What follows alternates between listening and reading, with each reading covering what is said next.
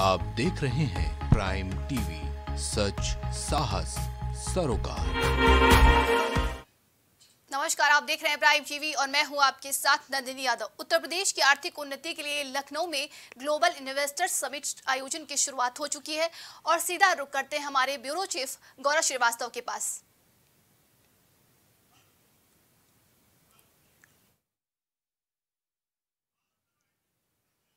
बता दें कि आज ग्लोबल इन्वेस्टर समिट की शुरुआत हो चुकी है।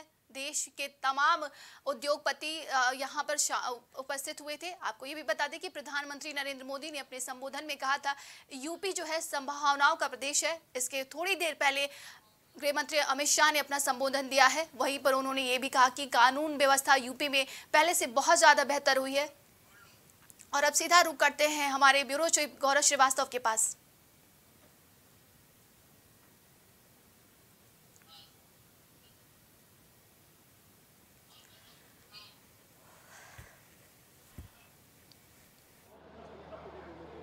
धन्यवाद आपको मेरी आवाज़ आ रही है? जी गौरव। जी। नन्नी इन्वेस्टर समिट जो इतिहास यहाँ बनाया है दस लाख करोड़ से शुरुआत हुई थी पंद्रह लाख करोड़ सत्रह लाख करोड़ बाईस लाख करोड़ सत्ताईस लाख करोड़ और कहा जा रहा है कि उनतीस लाख करोड़ के एमयू साइन हो चुके हैं। यानी उत्तर प्रदेश में उत्तम प्रदेश बनाने की दिशा में एक ऐसा इतिहास बनाया गया है जो शायद देश में पहली बार हुआ है किसी राज्य में बड़ी इन्वेस्टर समिट आयोजित हुई है। 21 देशों के ध्वज लगाए गए। बड़ा, बड़े पैमाने पर काम हुए और इतने बड़े एम साइन होकर स्पष्ट हो गया है कि जो नीति थी सरकार की, वो बेहतर थी और उसी के मंसूबे के तहत यहाँ पर इतनी बड़ी समिट हुई है और इतना बड़ा एम साइन हुआ है। इस मुद्दे बात करने के लिए हमारे साथ इस समय उत्तर प्रदेश सरकार के एमएलसी रामचंद्र प्रधान मौजूद जानते हैं कि इन्वेस्टर समिट के बारे में क्या कहना चाहते हैं और जो इतिहास सरकार बनाई है, उस पर आपकी क्या राय है? देखिए गौरव जी ये एक उत्तर प्रदेश उत्तम प्रदेश और उद्यम प्रदेश बनने जा रहा है। आज सबसे पहले तो मैं आपको बताऊँ कि जहाँ भी भी इंडस्ट्रियलिस्ट आएगा जो भी इन्वेस्टर आता है उसको पहले माहौल होना चाहिए। आज वो माहौल उत्तर प्रदेश की सरकार ने योगी आदित्यनाथ जी ने जो माहौल दिया है उसकी वजह से पूरे देश का पूरे दुनिया भर के लोग यहाँ इन्वेस्टर लोग आ जा रहे हैं। क्योंकि जो पहले क्या होता था पहले की सरकारों में इस तरह का माहौल है सबसे पहले लॉ एंड ऑर्डर सबसे पहले कानून व्यवस्था का प्रश्न उठता। क्योंकि जब इन्वेस्टर आता बिना भय बिना डर किसी दबाव में अपना यहाँ इन्वेस्ट करे और यहाँ की इंडस्ट्री लगाए। लेकिन ये अब माहौल पहले नहीं था।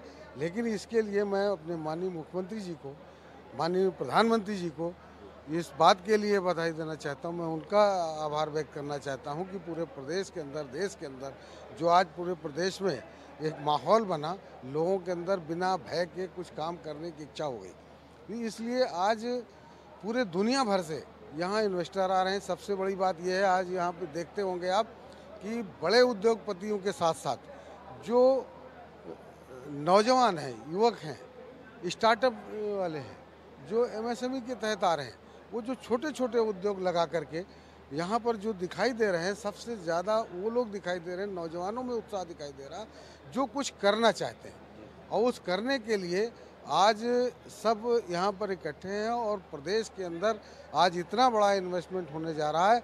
मैं समझता हूँ कि भारत में पहला ऐसा उत्तर प्रदेश राज्य होगा जहाँ पर इतना बड़ा इन्वेस्टमेंट इंडस्ट्रिस्ट लोग उत्साहित हैं इसको करने के लिए। इसलिए मैं पूरे प्रदेश के लोगों के लिए ये गर्व की बात है। हर वर्ग के गर्व की बात है कि हर वर्ग को ये आज पूरे प्रदेश में ऐसा माहौल मिला। सबसे महत्वपूर्ण बात है, दस लाख करोड़ का लक्ष्य रखा गया, बढ़ते बढ़ते बढ़ते बढ़ते लक्ष्य इतना पहुँच गया कि उनतीस लाख करोड़ तक पहुँच गया। क्या मानते हैं कि जो विपक्ष के ऊपर करारा जवाब है, जो कह रहे दस लाख करोड़ ही पूरा नहीं होगा, और सरकार ने तुगरा लक्ष्य यहाँ पर लेकर आ गई है एमयू साइन हो चुका, अठारह हज़ार से ज़्यादा के एमयू साइन हुए हैं तो क्या मानते हैं विपक्ष को करारा जवाब है सरकार की तरफ़ से? देखिए गौरव जी विपक्ष के लोग जो बोल रहे हैं ना इसके पहले उन्होंने भी इन्वेस्टर समिट कराई थी। उसमें मैं आपको बता रहा हूँ कि जो कुछ इंडस्ट्रियलिस्ट आए और आने के बाद टाइम टाइम फिक्स हो गया। एक रुपए का भी इन्वेस्टमेंट नहीं हुआ। लेकिन आप इसके पहले भी हमारी भारतीय जनता पार्टी की सरकार माननीय योगी आदित्यनाथ जी की सरकार ने इन्वेस्टर समिट किया था। और आज आज तो सारे रिकॉर्ड टूट जाएँगे। और उनको कहने के लिए उनके पास कुछ बचा नहीं है। एक कहावत होती है ना खिसियानी बिल्ली खम्बा नोचे। तो आज उनकी स्थिति यह है कि आज वो देख रहे हैं कि माननीय योगी आदित्यनाथ जी के नेतृत्व में आज इतना बड़ा काम हो रहा है। पूरे देश में सबसे ज़्यादा अगर कहीं पर लाइन ऑर्डर की व्यवस्था ठीक हुई है कानून व्यवस्था ठीक है आज इन्वेस्टर यहाँ पर ललायित हो रहे हैं आने के लिए।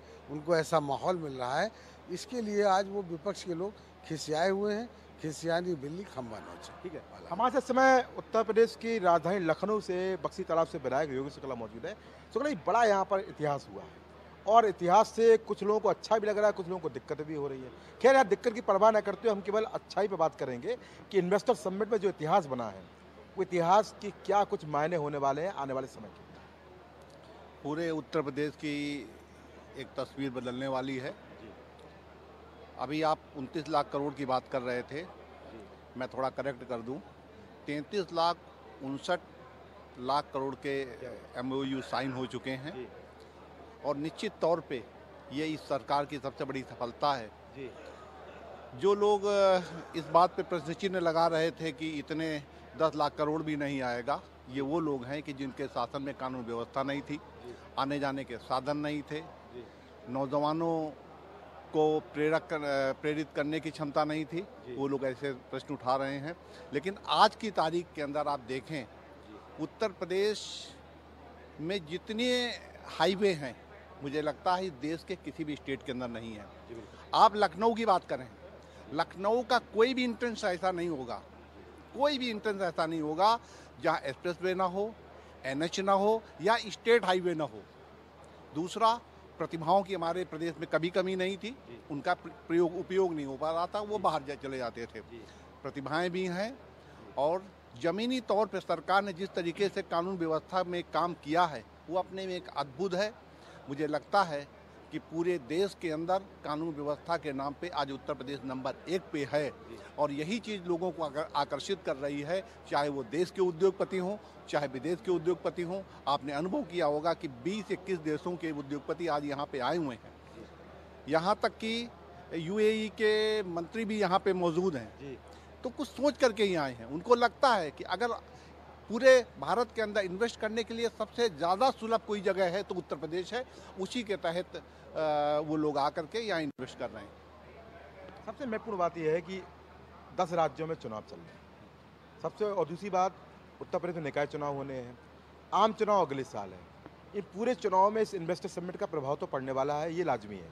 पर सबसे महत्वपूर्ण बात यह है, क्या इस बीजेपी शासित राज्यों में जिस तरह से इसकी नज़ीर पेश की जाएगी तो आने वाले समय में आपको लगता है कि एक बेहतर विकल्प बनेगी और ये एक उदाहरण के तौर पर रहेगी जिससे और जो राज्य हैं, वहाँ पर भी इस तरह की ऐतिहासिक समिट आयोजित की जाएगी और इसके साथ साथ इसका समिटों का जो लाभ होगा या इस तरह की जो ऐतिहासिक क्षण जो हो रहे हैं, उसका लाभ आने वाले आम चुनाव में बीजेपी को मिलता नज़र आएगा। देश का जो युवा वर्ग से लेकर के जो भी हमारे लोग हैं, चाहे वो किसी भी वर्ग के हों, वो पूरी तरीके से भारतीय जनता पार्टी के प्रति समर्पित हैं। चुनाव का कितना संबंध है मैं ये तो नहीं कह सकता। लेकिन ऐसा क्यों है कि जो भारतीय जनता पार्टी की जहाँ जहाँ सरकारें हैं वहाँ ही इतना ज़्यादा इन्वेस्ट लोग कर रहे हैं। उसके पीछे सबसे बड़ा कारण ये है कि हम कानून व्यवस्था पे ध्यान देते हैं हम रोड पे ध्यान देते हैं हम जो जो जो भी व्यापारी हैं जो उद्योगपति हैं उनको जो भी फैसिलिटी मिलनी चाहिए हम उन पर ध्यान देते हैं। ठीक है। तो ये थे हमारे साथ योगेश शुक्ला जो कि बक्सी तालाब से विधायक है। इनका कहना है कि सरकार जो काम कर रही है, वो बीजेपी शासित राज्यों में क्यों हो रहे हैं? क्योंकि वहाँ पर लोग निवेशक समझ चुके हैं कि लॉ एंड ऑर्डर की स्थिति हो, चाहे निवेश की स्थिति हो, चाहे सिंगल विंडो सिस्टम की स्थिति हो, चाहे इंफ्रा की स्थिति हो, बेहतर है और जहाँ निवेशक को तमाम चीज़ें मिलेंगी, निवेशक वहीं जाएँगे। और इतिहास जो से रचा गया है, इतिहास के कई बड़े बड़े मायने निकलने वाले हैं और निश्चित रूप से मायने आने वाले निकाय चुनाव में भी देखने को मिलेंगे और आम चुनाव में भी सबको नज़र आएँगे। गौरव देखा जाए तो वहीं गृह मंत्री अपने संबोधन में बोले कि यूपी में जो जिस तरीके से ये समिट किया जा रहा है कहीं ना कहीं ये तीन दिवसीय समिट जो है यूपी का इतिहास बदलेगा। जी। जी बिल्कुल यहाँ पर गृह मंत्री ने जो बात कही है बिल्कुल सही बात कही क्योंकि यहाँ पर जो सबमिट थी ये चर्चा में इसलिए रही क्योंकि सबमिट के माध्यम से तमाम तरह के आरोप प्रत्यारोप के दौर भी चलते रहे और सबमिट पर हम देख रहे हैं लगातार जब से सबमिट की घोषणा हुई है, अगर हम बात करें 2022 में 10 मार्च को रिज़ल्ट आया था, परिणाम आया था और 25 मार्च को उत्तर प्रदेश के मुख्यमंत्री के रूप में योगी आदित्यनाथ ने दूसरी बार यहाँ पर अपनी सरकार बनाई थी। मुख्यमंत्री बने थे सैंतीस साल पुराने मिथक को तोड़ा था। उसके बाद देखा जा रहा था कि सरकार नए आयाम प्रस्तुत करेगी और नए आयाम प्रस्तुत करते के एक श्रृंखला में इन्वेस्टर समिट की बात की गई और कहा जा रहा था कि इन्वेस्टर समिट एक ऐसे, ऐतिहासिक क्षण रखेगी और आधारशिला रखेगी। और स्वयं हम देख रहे हैं कि तमाम मुद्दों पर, तमाम कार्य योजनाओं पर मुख्यमंत्री योगी आदित्यनाथ स्वयं आगे बढ़कर नेतृत्व करते हैं और इन्हीं की नेतृत्व की यहाँ पर एक आधारशिला है कि 10 लाख करोड़ का लक्ष्य बढ़कर यहाँ पर 32 लाख करोड़ के लक्ष्य पर पहुँच चुका है और निश्चित रूप से अठारह हज़ार चार सौ तिरपन एम साइन होकर ये स्पष्ट कर चुके हैं कि निवेशकों का भरोसा उत्तर प्रदेश में अब उतना आ चुका है जितनी हम कल्पना नहीं कर सकते। और दस लाख करोड़ का लक्ष्य अगर तीन गुना बढ़कर तैतीस लाख करोड़ जा रहा है तो कहीं ना कहीं ये बात उत्तर प्रदेश को उत्तम प्रदेश बनाने की दिशा में महत्वपूर्ण आयाम साबित होने वाली है। जी, गौरव, देखा जाए तो गृह मंत्री अमित शाह ने कानून व्यवस्था को लेकर भी कहा कि कानून व्यवस्था पहले किस तरह थी और अब बहुत ज़्यादा बेहतर हुआ है। वहीं उन्होंने एमएसएमई का ज़िक्र भी किया और ओडीओपी का भी ज़िक्र किया। जी, बिल्कुल, यहाँ पर एमएसएमई की बहुत ज़रूरी है ओडीओपी बहुत ज़रूरी है। तब एमएसएमई पे नहीं करें, जब तब ओडीओपी पर नहीं काम करें तो कहीं ना कहीं आप निवेशकों को कैसे लुभा पाएँगे? लुभाना ज़रूरी है, उनको लाना ज़रूरी है, सिंगल विंडो सिस्टम की ज़रूरी है इंफ्रास्ट्रक्चर ज़रूरी है, कानून व्यवस्था ज़रूरी है, और कहीं ना कहीं एक आपने एक चीज़ यहाँ पर देखी जो एक बड़ा इन्वेस्टमेंट आया है, उसका कारण यह है कि यहाँ निवेश केवल विदेश से नहीं आया है। यहाँ निवेश विदेश से भी आया है। इसके अलावा देश के महत्वपूर्ण जो आपके शहर है, वहाँ पर योगी आदित्यनाथ स्वयं गए थे, रोड शो भी किया था और रोड शो के माध्यम से उन्होंने देशी निवेशकों को भी यहाँ पर लुभाया। जो रहने वाले, जो मूल निवासी हैं, वो उत्तर प्रदेश के हैं, हमारे गृह जनपदों के हैं, उत्तर प्रदेश के निवासी रहे और उनका जो कारोबार है, वो देश के अलग अलग राज्यों के अलग अलग बड़े बड़े शहरों में है। तो कहीं ना कहीं उनको भी यहाँ लुभाने की बात यहाँ पर कही जा रही है और निश्चित रूप से बड़ा निवेश आया है, वो इन्हीं की इसी परिपाटी पर गुजर कर आया है। और कहीं ना कहीं जिस तरह हमने देखा है कि उत्तर प्रदेश के तमाम जिलों में भी रोड शो निकाले गए थे। वहाँ पर भी तमाम मंत्रियों को प्रभारी बनाकर एक बार स्पष्ट की गई थी कि जो निवेश है, वो ज़िले ज़िले से भी आ रहा है। और जिससे जो ज़िले ज़िले से निवेश आया है, जो विदेश से निवेश आया है, और जो देश के अलग राज्यों की बड़े बड़े जगहों से निवेश आया है, उसी निवेश की यहाँ पर परिणाम है कि तैतीस लाख करोड़ का लक्ष्य यहाँ पर हम उत्तर प्रदेश सरकार प्राप्त कर चुकी है। जी। गौरव, देखा जाए तो जिस तरीके से योगी सरकार ने जो रोज़गार का लक्ष्य साधा था, कहीं ना कहीं वो संभव होता नज़र आ रहा है।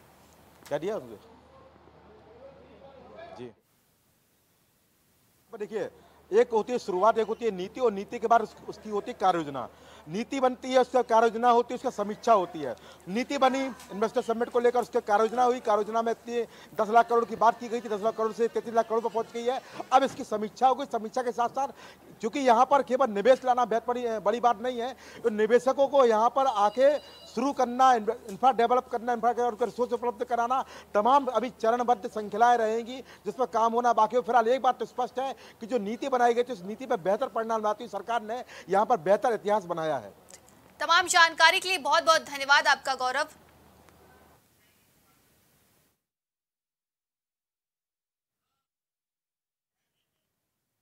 बता दें कि आज ग्लोबल इन्वेस्टर समिट का पहला दिन था। तीन दिवसीय इस समिट में तमाम उद्योगपति वहाँ पर आज शामिल हुए थे। बता दें कि अभी थोड़ी देर पहले गृह मंत्री अमित शाह ने अपना संबोधन दिया था उन्होंने कहा कि कानून में यू आ, यूपी में जो है कानून व्यवस्था यूपी में जो है कानून बेहतर हुआ है और इसके इसके बाद उन्होंने एमएसएमई का भी ज़िक्र किया ओडीओपी का भी ज़िक्र किया। तमाम निवेशकों के लिए उन्होंने उनका स्वागत भी किया है और कहा कि उत्तर प्रदेश जो है संभावनाओं का प्रदेश है यहाँ पर निवेश करने से उन्हें एक अच्छा खासा रिस्पांस मिलेगा। इस तरह तमाम जानकारी उन्होंने और तमाम बड़ी बातें भी कही हैं।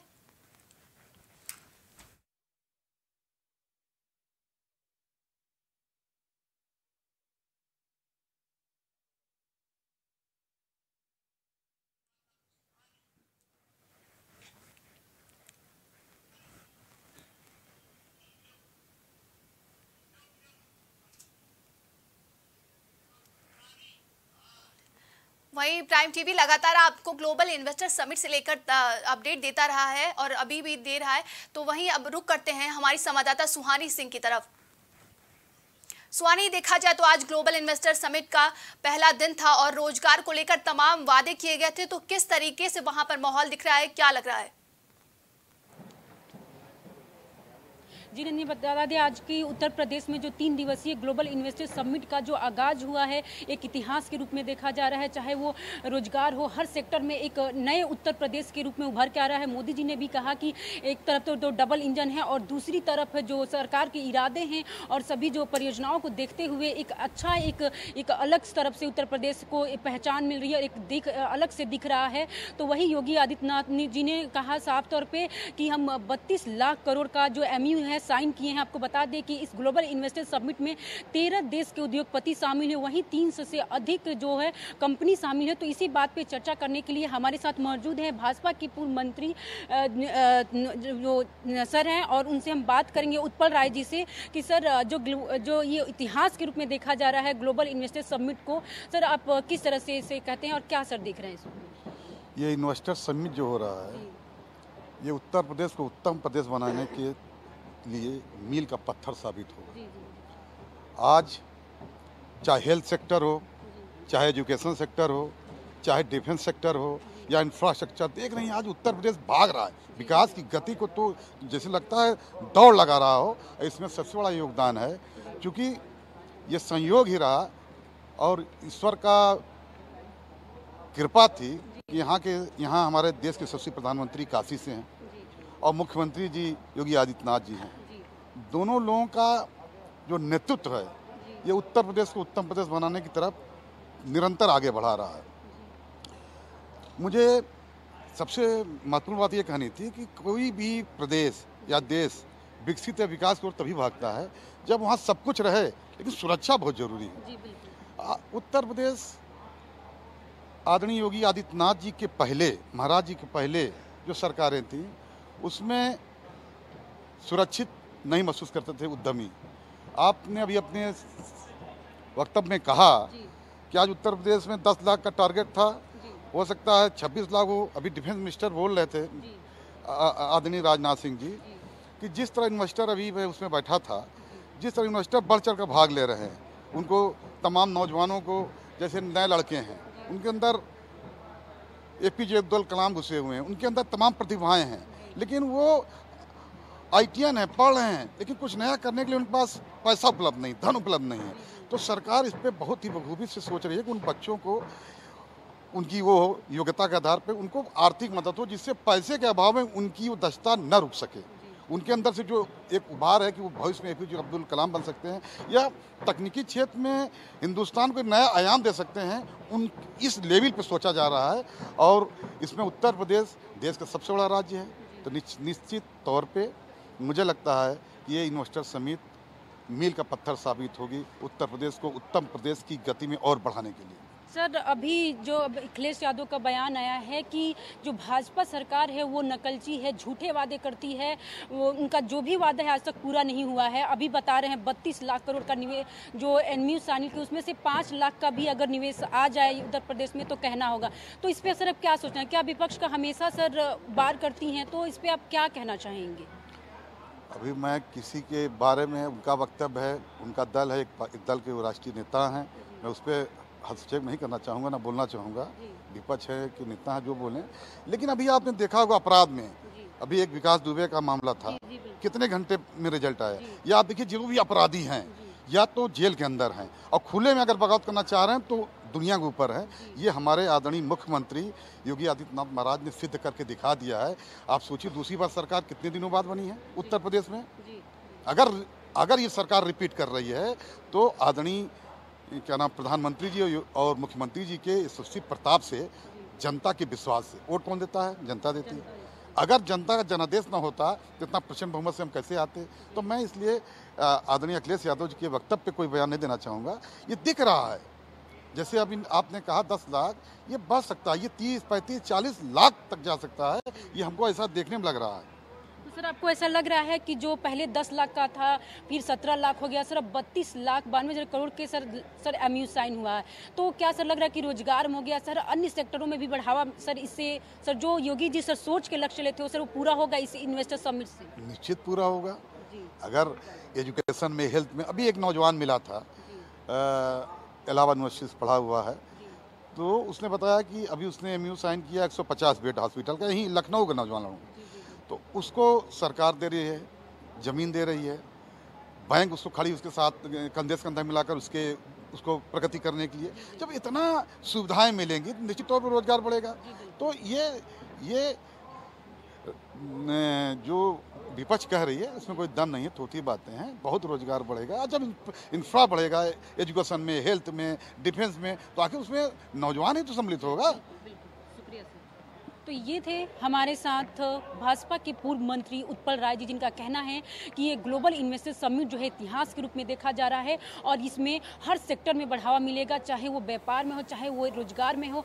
साथ ही उन्होंने ये भी कहा कि अभी हमने जस्ट एक युवा से मिले, उनका कहना है कि इन्वेस्टर समिट से बहुत ही लाभ मिलने वाला है। वहीं योगी आदित्यनाथ का कहना है कि उत्तर प्रदेश एक नए एक कदम बढ़ा रही है, एक नई सोच के साथ एक एक अलग ही जो है हमको पहचान देने वाली है, जो कि हर सेक्टर में बढ़ावा मिल सकता है। ग्लोबल इन्वेस्टर समिट से।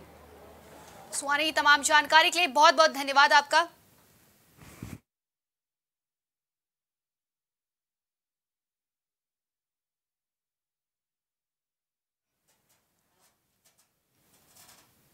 इस खबर में बस इतना ही। देश दुनिया की तमाम खबरों के लिए देखते रहिए प्राइम टीवी।